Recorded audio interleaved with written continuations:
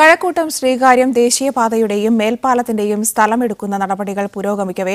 ശ്രീകാര്യം മുസ്ലിം ജമാഅത്തിന്റെ സ്ഥലം ഏറ്റെടുക്കുന്ന നടപടിക്ക് ഹൈക്കോടതിയുടെ സ്റ്റേ. തുല്യനിധി നടപ്പാക്കാതെ ജമാഅത്തിന്റെ സ്ഥലം ഏകപക്ഷീയമായി എടുക്കുന്നുവെന്ന് ചൂണ്ടിക്കാട്ടി ജമാഅത്ത് ജനുവരി മുപ്പതാം തീയതി ഹൈക്കോടതിയെ സമീപിച്ചിരുന്നു. നിലവിൽ ജമാഅത്തിന്റെ വശത്ത് നിന്ന് പതിനാല് മീറ്ററും മറുവശത്ത് നിന്നും ഏഴ് മീറ്ററും സ്ഥലമാണ് ഏറ്റെടുക്കാൻ പോകുന്നത്. ഇതിനെതിരെ ജമാഅത്ത് ആക്ഷൻ കൗൺസിൽ രൂപീകരിച്ച് വിവിധ പ്രതിഷേധ പരിപാടികൾ സംഘടിപ്പിച്ചതിനെ തുടർന്ന് സ്ഥലം എം എൽ എയും മന്ത്രിയുമായ കടകംപള്ളി സുരേന്ദ്രൻ ജമാഅത്ത് ഭാരവാഹികളുമായി ചർച്ച നടത്തി വേണ്ട നടപടികൾ ചെയ്യാമെന്ന് ഉറപ്പ് നൽകിയിരുന്നു. എന്നാൽ മന്ത്രിയുടെ വാക്ക് പാഴ്വാക്കായി. പഴയ അലൈൻമെന്റ് പ്രകാരം കല്ലിടൽ നടപടികൾ തുടങ്ങിയപ്പോഴാണ് ജമാഅത്ത് ഹൈക്കോടതിയെ സമീപിച്ചത്. പ്രത്യേകിച്ച് ജമാഅത്തുകളുടെ സ്ഥലങ്ങൾ എടുക്കില്ല എന്നുള്ളതാണ് ഗവൺമെന്റിന്റെ നയപരമായ തീരുമാനം. അതിന് ഘടകവിരുദ്ധമായി ബന്ധപ്പെട്ട ഉദ്യോഗസ്ഥരും ബന്ധപ്പെട്ട ഇതിനുമായി ബന്ധപ്പെട്ട ആരെല്ലാമോ ഇതിന്റെ ഇതിന്റെ പിന്നിൽ പ്രവർത്തിക്കുന്നു.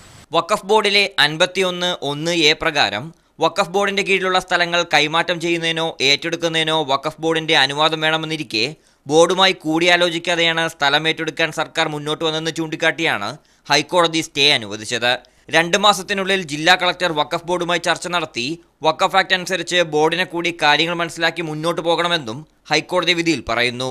Media One Thiruvananthapuram.